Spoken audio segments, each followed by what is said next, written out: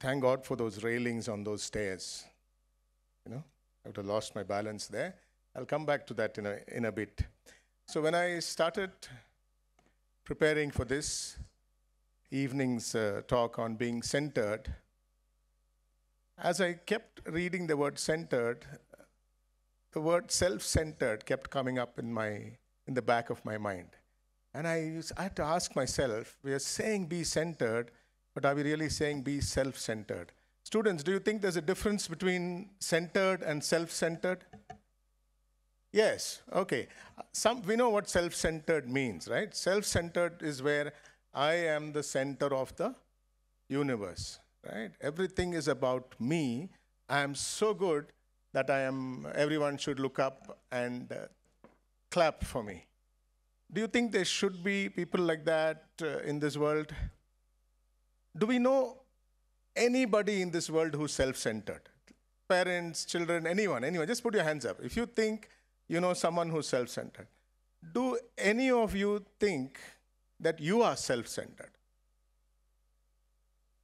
Quite a lack of show of hands there. But do you see the dichotomy there? Right? We, we, we know that many are self centered in our circles, but we definitely are not self centered. Having said that, there are people who have a right to be self centered. Newborn babies, they truly believe that they are the center of the universe, and which they are at that point in time. Everything in their universe revolves around them.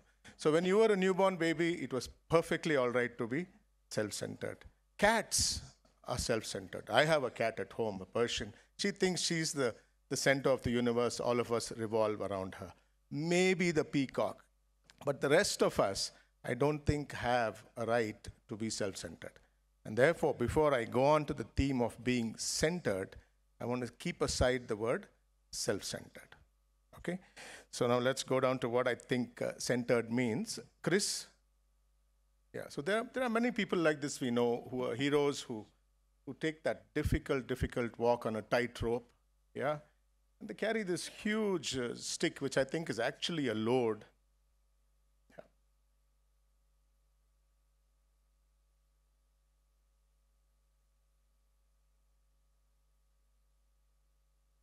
Thank you, Chris. Thank you. Yeah, so that man is carrying a really heavy pole in his hand while he's already doing the difficult task of walking on that wire. I was climbing up these stairs and I was so grateful that there were railings on the side. So, students, this is for you. Your school years, your years at home with mom and dad and family around you are like the railings that you had all these years. The school is getting ready, your parents are getting ready to send you out into a world where there may be railings, but more likely as you go on in your professional and your personal life, there may not be railings for you to hold on to the side. All right? So when you then stand there, and if you're standing to lose your balance, something is going to help you. We'll call that the balancing pole. Yeah? We're going to choose our balancing pole today at the end of this talk. So pay attention, and each of you can choose what you think is a good balancing pole for you. But did you see how important that balancing pole was? Even though it seemed like a burden, that is what gave that man stability. If he had to just walk Without holding that pole, it is very, very hard and we could fall. So I think being centered, that image I want you to keep because you guys are studying for your final exams now. 90% of what I'm going to speak will not stay in your memory. It should not stay in your memory because you're going to put your subjects back onto it. But images stay. That's why I put that image, and I've got two more images for you to remember the balancing pole. So it's going to come there. What is this balance that on that for that man he was balancing between his left side and his right side. Your life is not going to be that simple. At some point you'll be balancing between happiness, which comes naturally for, at, at some point in time, and sadness. At some point you'll see your family and you struggling with sickness maybe and health on the other side. All right? Struggling with loneliness and also having seen the other side. So the pole will keep you grounded so you know that this is not the only reality in my life that I also have this. Which is why when Sarup sir and the first two girls who did that pessimism and optimistic uh, role play, it, it fitted in so, so well with this. So this pole will help us. There are days when you will feel absolute solitude, even though you're surrounded by people. And the other days you will absolutely enjoy fellowship. I wish you both in this life because everything is a balance. Just remember to keep your pole. There are days I will fail. There are projects I will fail in. There are exams I may fail in. I wish not. But if any of those failures come, you must have your pole ready so you can also balance onto the other side. So success will still call out to you. So remember. So now let's go down to see what other versions of holding a balance or being centered, Chris, could mean. Yeah, so a potter's wheel. A potter's wheel is another very, very good example of being centered. Because when he does whatever beautiful, one more time, Chris, you can play. Yeah. When that wheel is spinning, which is what your life is going to be, no matter what shape you're going to create, that pot of clay, that mud of that, that pot of clay which, which he's molding in his hand, has to be in the center of that wheel. If to start with, if that is off center, if it's weighted to one side, or if his wheel is not balanced, what's going to happen to that clay? What do you think will happen, guys? It'll break, it'll go into a different shape, and then it might just fall off the wheel, especially as it goes round and round. So, very, very important to stay in the center. Now, this potter is a very good potter, and this morning he did a beautiful pot and he centered it well. What about tomorrow? Does he have to center it tomorrow as well? Or is it enough to say, oh, on uh, Wednesday I centered it, so I don't have to center it again? When I center myself using one of the tools we're going to discuss, how often should I center myself, girls? How often? Every day? Okay, what about during the day? In the morning I had, I centered, I was very happy. A big fight with uh, my wife, maybe, or my boss, and now I fire at my, my youngsters. And we have a really, or I have a patient who comes in, is very upset, and they completely shake my equilibrium. And then suddenly something new is coming up in the next half an hour. What should I do? Center myself again. So, how many times a day? As many times as possible. I was before coming up here, sitting there, centering myself. You know the, the feeling when you go in for an exam, would, you know how to center yourself. It may be a prayer in your mind, it might be an image of a, of a grandparent who you, or a parent who's supporting you, or if you don't uh, have any of that, it might just be focusing on your breath. Any of these could be your mode of centering. This is true for, for us adults as well as for the students. So we center every day and we center many, many, many times a day. Chris, sir. One last little clip. Yeah, we all know this doll, yeah? I'm not saying we should be that shape to say centered. I am definitely not saying that. Okay? But this is a doll who teaches us a lot, a lot in being centered. Because no matter how much of impact it gets from the left and the right, it rocks and rocks and rocks, and, but still stays upright. When your children, when you are growing up, your parents, your family, your teachers are standing right next to you. So even if something big comes, you are there to support you. But when you're out on your own, you may not have them, but you can still stand like that. That looked funny. Do you know anything else which stands like that no matter how strong the breeze may come? The trees. The trees also behave exactly the same way as that. They are not like an iron pole. The trees are not like an iron pole. They get swayed, but they still stand. And what is holding them? The root which is which they've put in, which they've worked for. Your parents grew your roots for you, but you have to grow it even further and deep so you stay there. So you've got three examples of centering. One was the tightrope walk with the pole, one was the potter's wheel, and one was the, the doll which can't be pushed down. So now let's move on to what exactly is my pole? Because all, whatever we've spoken till now is good, it's theory. Yeah? But if you're going to go away from this graduation remembering something, it is to find out what is my individual pole, what is your individual pole, which you will need to carry. Okay, so what, what could a pole be? For some of us, especially in Bethany, it is faith, especially faith in God. You've seen that. Most of you have seen that. Your parents have seen that. And is a faith in God. I have two teenagers at home.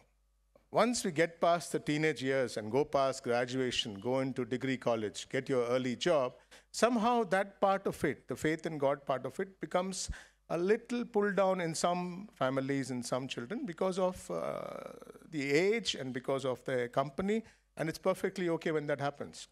God will find you when it's time to find you. So when that happens, children, don't be worried. But faith in God definitely is a very important pole we can have. If you're not in that phase where God still matters that much to you, you will still have your spirituality which will hold you. It could be your faith in family.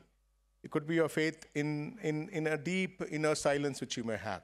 It could be meditation. Choose the one which comes to you. We'll go through a list of them, and then each of you are going to choose three out of the six that I'm going to name. So please listen. It's exam time already. Yeah? So it could be that. It could just be a quiet time in the morning. Just a quiet time. No verbal prayer, no need for any songs, just a quiet time. Maybe three minutes, maybe five minutes. Many people use that quiet time as their period of centering for the day or even before sleeping. And this is valuable. I think every religious tradition, especially in our country also, thousands of years of quieting down, which makes us centered, which they talk about. And I think that's something that we can use. The next thing to use is gratitude. Gratitude, surprisingly, is one of the most balancing thoughts and attitudes that one can have when it comes to being centered. If you can find three things to be thankful for every day before you sleep, you will find that that's a very, actually, a shortcut pole which you can use to stay balanced. Three things. It could be anything. Like Akash sir, I'm sure he is grateful for his good looks. Yeah? Very few of us can say that, but he, I'm sure he's, he's, able to do that. I definitely don't go there. But it could be gratitude for anything which happened in your day anything which happens in your family, the small things or the big things, but gratitude. So we've, we've mentioned three. We've mentioned faith. Anybody else can remember something else? A quiet time. And we mentioned gratitude. Okay, let's go on. The other big thing as you grow older is to find your purpose in life. If I have found my purpose in life, that will get me out of bed. That will get me onto the toughest tarmac possible. And that will teach me that unless I'm balanced, I can't achieve anything because I have a purpose. You were created for a purpose. You've been through this school for a purpose. Your parents chose this school for each of you for a purpose. And you will find your purpose as you go along. And it'll change. When I turned 50, my entire outlook changed, my purpose changed. I had to go back to centering and finding something new. Otherwise, it's going to be a very boring life as we go along. Yeah? And find a passion. The passion is not your profession. Passion is something else which you do. And we've seen such talented children who've come up with their other passions which are there. It's not just hobbies. Your passion might just be helping people. Baby auntie is there. You know what a passion she has for the children that she looks after. And they come back year after year after year. The passion is about finding something which consumes you. And lastly, the other one is service. You, I'm sure you've seen your parents, you've seen your teachers, you've seen other people in family, or been inspired by someone. The service is something that you can do in your professional career or in your personal career. So no matter what you end up doing, there will always be room for service. Can you quickly go through the six because we're going to choose three at the end of the day? Faith, a quiet time, gratitude. Wow, these children are going to score very high in their exams for sure. Purpose, purpose, passion, and service. So you can choose any of these. Yeah? So there's no right or wrong which is there. Now, did God make life that life itself is centered? Is your everyday life, when you step out, going to be centered for you? Not at all. It is not at all designed to be centered. But who has to be centered? It's I who have to center. The responsibility is mine. How often do I do it? I do it every day, many times a day, as much as I need. Okay, so we're coming to the end now. One of the other messages which Sarup sir gave me was the word, uh, I am bound. That will work for us who are sitting in the middle. Try telling any teenager, boy or girl, that you are bound to do this or you're going to be bound to follow this. What do you think they'll do? Absolutely not. Yeah? That is, that is the natural thing of youth. Most revolutions are led by whom? Not by old men and old women. It's led by young people. All the revolutions in the world, it's the young people. So I replaced that word bound with wound because wound is easier for us to understand. When we say Wound, what do you what, what, what are you reminded of? I am reminded of a top I used to play with. Your generation probably used a Beyblade or something of that sort. When the last time you sat in an aircraft, you saw the Boeing engine and you could see that thing going round and round and round. Your physics teachers taught you about potential energy and kinetic energy. All the kinetic energy you need in your career, in your, in your professional, your personal life, your relationship, all that energy is going to come from being wound. Even the clock, my old clock which I have in my house, needs to be wound. So that centering happens, and then you wind yourself again, get back your energy. None of this makes sense to the young generation unless you tell them it's their iPad or their phone which needs to be charged. So your quiet time, your pole is getting charged. Okay? So now let's revise, and then I'll have a quick word for our parents. So, children, out of the six, I'm going to read them one by one. You just shout out the one which appeals to you. Each of you can choose three or all six if you like. Okay, let's go one by one. Faith. Wonderful. And remember this this is for yourself. You're not screaming it out for your parents to hear or for me to hear or anybody to hear. I want this to resonate with you. Quiet time. Oh, see, a lot of girls want the quiet time. Boys, you're going to be quiet for a long time. Gratitude. Yes, that's among the easiest. So I would say keep that. I think each of you can keep that because gratitude is easy to, to do. There is nothing difficult about giving gratitude in your heart for the things you believe. Purpose. Oh, look at that. The boys are there. Now they're purposefully going up on their on their audio. Okay? Next one is passion. My goodness, I think I triggered the boys here, I think. Service. Okay, so just remember in your hearts what you spoke of. Parents. Okay, good. Parents, just one, one illustration for you today. I'm sure a lot of you have read Khalil Gibran, the prophet. Yeah, if you haven't, please pick it up. It's a small book of some 45 pages of which 20 pages are big cartoon diagrams. There's only a few pages to read, and the font is very big, you'll finish it really fast. The Prophet by Khalil Gibran. In that, when someone asks him, the Prophet, how do we bring up our children? How do we bring up our children? He says, Your children do not belong to you, they belong to life. Life has brought them through you, they come through you, but they are not you. They are here for a purpose. So he says, I'm paraphrasing, he says, parents are the bow, like you see Rama's bow now. So it's the bow, and the children are the arrows. Now, the bow can only give strength and a lot of push and a lot of thrust to let the arrow go far. But who decides where the arrow will go? The archer.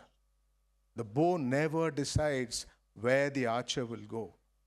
Try to control your compulsion to decide what your children are going to do. This is what my dream is for my child. Try to get out of that. But the prophet, he said it beautifully. He said, You're the bow. Just pray to the Maker that when he pulls the bow, that I am strong enough to not break and give what that arrow needs to go. But don't fall into the trap of deciding that this arrow should not go there, it should go here. And that I think is a difficult lesson for us parents to understand. I've been through that difficulty myself, so I'm speaking of this from a very practical point of view. So I would suggest read that book. It's The Prophet by Khalil Gibran. So, dear children, I leave you with your pole, which you will carry for the rest of your life. Remember the three things that you're going to use for that. And, and above all, be grateful to your parents, your teachers, and all the people in the school, your non-teaching staff, each of them, you know how passionate they are about your well-being and your education. So keep this in your heart and be connected, as uh, Jim was saying, back to your alma mater. Thank you and God bless.